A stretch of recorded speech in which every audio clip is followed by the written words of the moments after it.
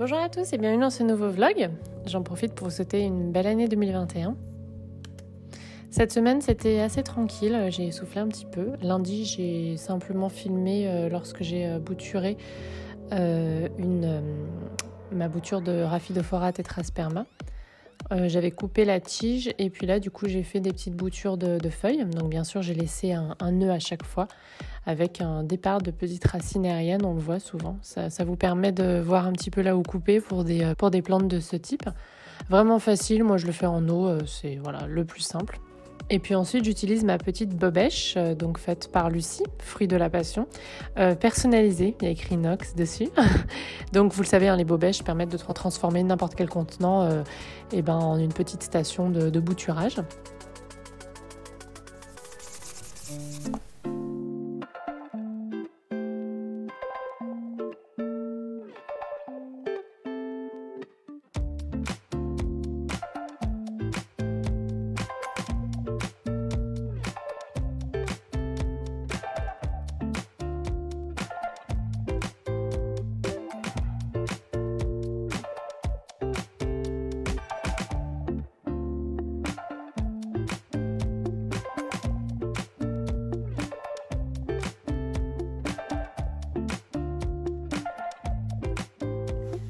Coucou tout le monde, je profite que j'ai 5 minutes euh, pour fumer un petit peu.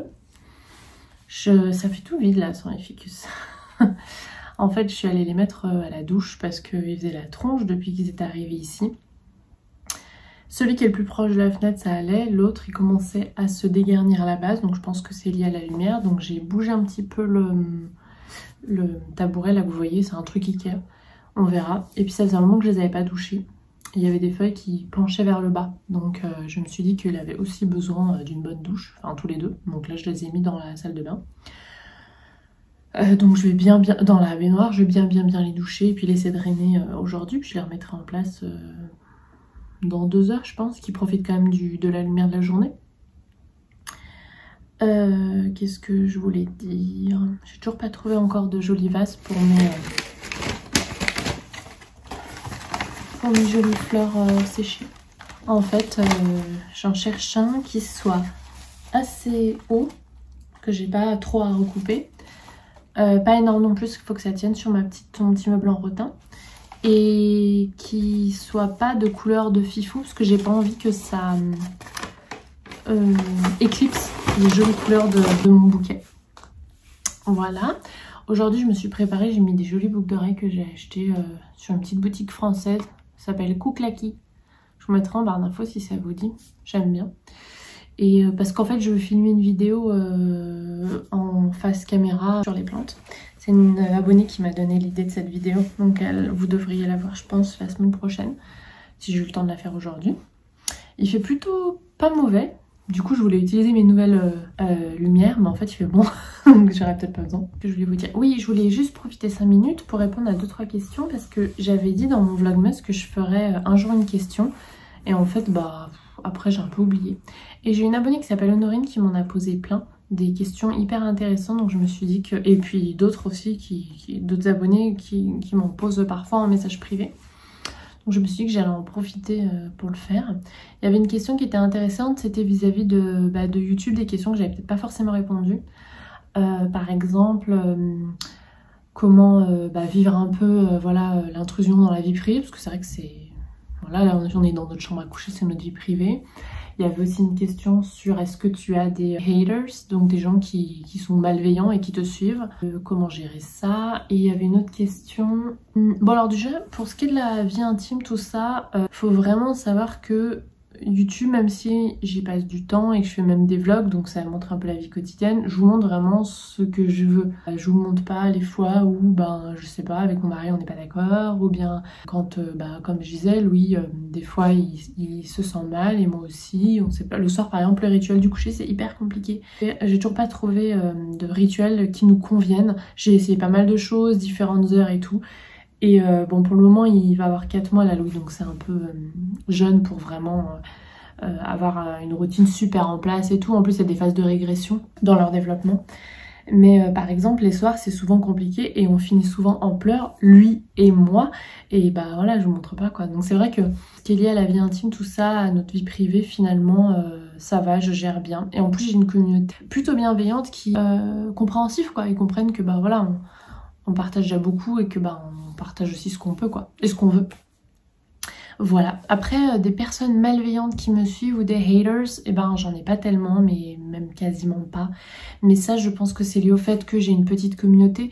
15 000 abonnés, c'est pas énorme, c'est... Enfin, moi ça me paraît énorme, hein. je vous le dis, j'ai d'ailleurs beaucoup de mal à me représenter le fait qu'il y ait des 15 000 personnes qui se sont abonnées à ma, chaîne YouTube, ou euh, non peut-être pas 15 000 sur YouTube, sur Instagram par exemple, et qui suivent mes stories j'ai du mal, en plus moi j'ai pas le compas dans l'œil donc j'ai du mal à me représenter. Euh. Ça c'est lié aussi au fait qu'on parle de plantes et que du coup, euh, bon ben les gens n'arrivent pas sur ma chaîne par hasard par exemple.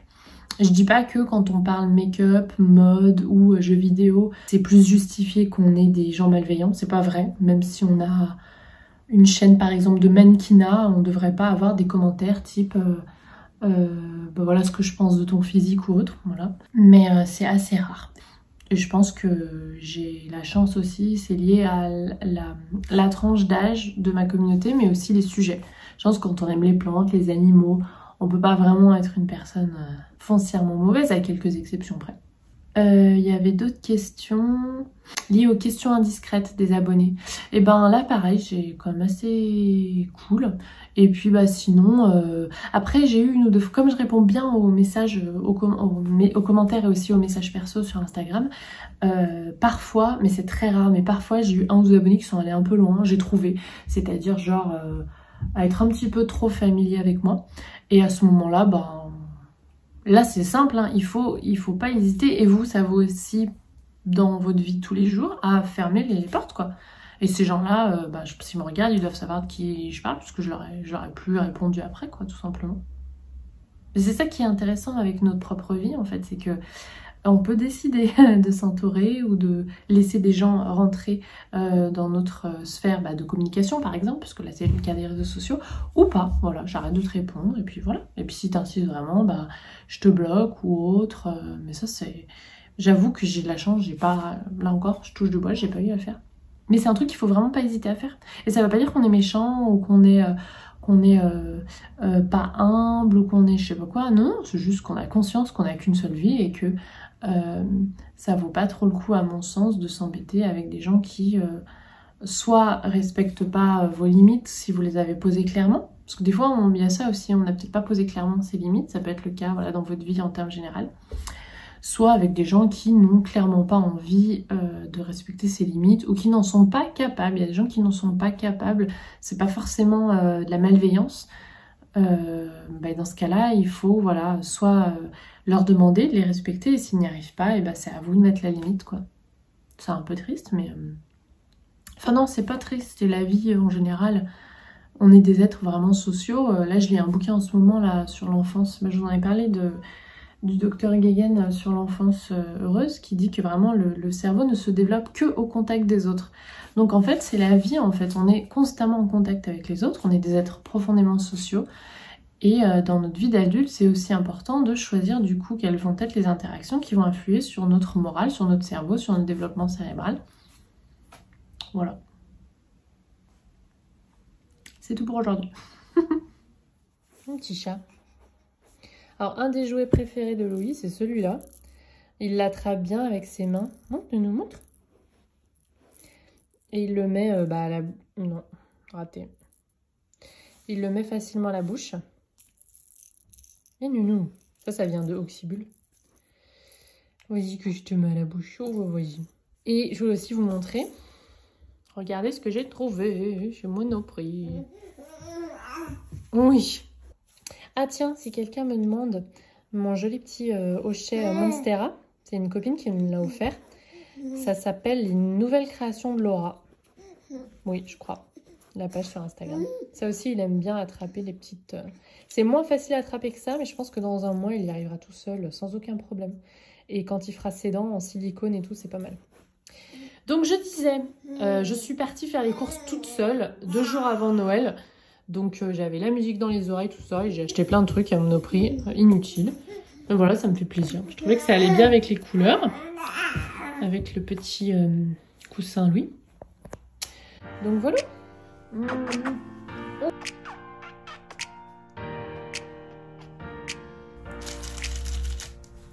Ah oui, alors cette, euh, fleur aussi oxybule, c'est pareil, c'est ma soeur qui nous l'avait offert euh, quand Louis est né. Il la kiffe aussi. hein. Il y a plein de petites euh, textures, il y, a plein, il y a un miroir, il y a des trucs à attraper. Un nounou. Donc là, je l'ai suspendu, mais après, si euh, il est plus grand, il va pouvoir jouer avec. Et si vous avez, par exemple, euh, si vous utilisez un parc, vous pouvez la, mettre près du, donc sur un des barreaux du parc. Ce qui est sympa, c'est que ma soeur, comme elle a eu deux garçons, et ben, elle a une idée en fait de ce que les enfants aiment bien comme jouet, parce que des fois, on se rend pas compte. Et voilà. Et là, il la kiffe. C'est à l'école, ta gueule, on apprend les bêtises.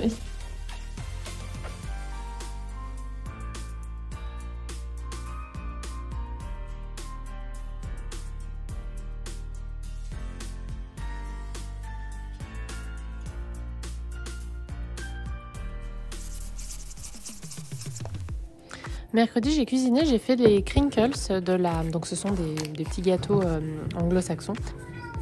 Nox, arrête maintenant, c'est pas l'heure du tout. Euh, j'ai pris la recette sur le, donc sur le, le blog de Caro, Caro from Woodland. Euh, c'est vraiment délicieux. Donc euh, la préparation, je vais pas vous la détailler euh, puisque bah, vous pouvez aller voir. Je vous mettrai directement l'article de son blog en dessous. Mais une fois que ça a réfrigéré, on peut en fait les rouler dans du sucre glace et les passer au four. Alors pas très longtemps, moi j'ai mis 15 minutes. En fait le but c'est que le, le pourtour soit un petit peu craquant mais l'intérieur va rester fondant un petit peu comme un brownie. Ah je voulais vous montrer. Une abonnée m'a envoyé un petit calendrier de l'après d'été. Trop chou. Avec pas mal d'infusions et de rooibos parce qu'elle euh, avait vu que j'essayais de faire attention. Mais il y a quelques euh, petits thés noirs. Bref, euh, adorable. Vraiment adorable. J'ai pas d'autres mots.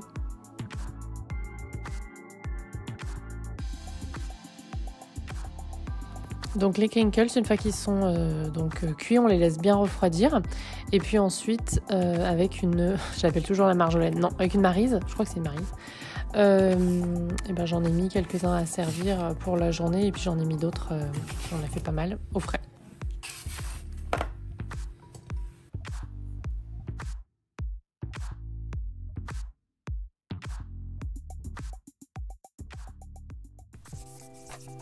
Mon jeudi, c'était le jour du 31, c'était vraiment très très chill pour tout le monde. Oh bah dis donc, ça va toi?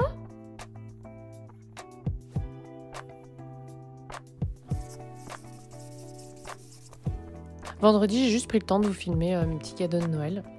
Euh, voilà, parce qu'on m'avait demandé. Donc j'ai eu ce joli pot en terre cuite et puis deux autres cadeaux que vous aviez déjà vus si vous avez regardé mon, mon vlogmas. Euh, Il y a une dernière chose que j'ai pas inclus.